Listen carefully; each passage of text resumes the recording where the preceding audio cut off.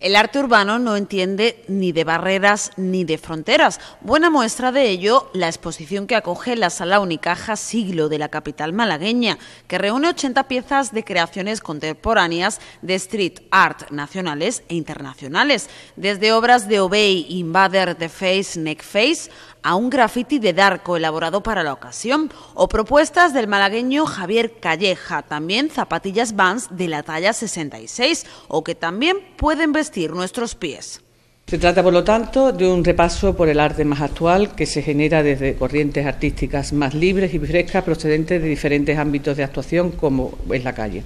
lo que pone en evidencia la riqueza de un arte interdisciplinar común a nuestros días. El objetivo de la Fundación Unicaja es acercar el arte más rompedor al gran público a través de la colección del joven malagueño Daniel Jiménez y con la colaboración de la marca de zapatillas y la revista Staff Magazine. Expresiones que se plasman en formatos tradicionales, pero que también echan mano de novedosos materiales y técnicas, o que estampan, ¿por qué no?, zapatillas gigantes. Hace como una especie de recorrido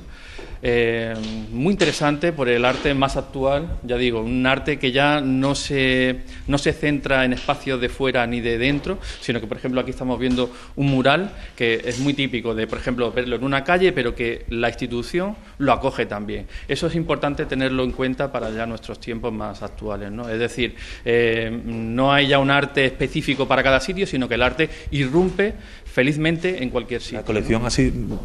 sido, eh, a base de unos años de, ir coleccionando piezas eh, a través de artistas que nos gustan, a mi mujer, a mi familia, a mi hermano que trabajo con él, y ir coleccionando piezas poco a poco, pues por ejemplo esto de aquí, de Next Face, es un artista que ha hecho colaboraciones con Vans anteriormente, lo conocimos hace unos 10 años, en el momento en que hemos podido llegar a tener eh, la posibilidad, sobre todo monetaria, de acceder a alguna pieza, pues hemos ido, hemos ido eh, eh, comprando y, y ampliando luego la colección y como eso pues prácticamente todo. La muestra puede ser visitada hasta el próximo 17 de julio, de lunes a viernes, de 5 a 8 de la tarde, en la sala Siglo Unicaja, en la céntrica Plaza del Siglo de la capital malagueña.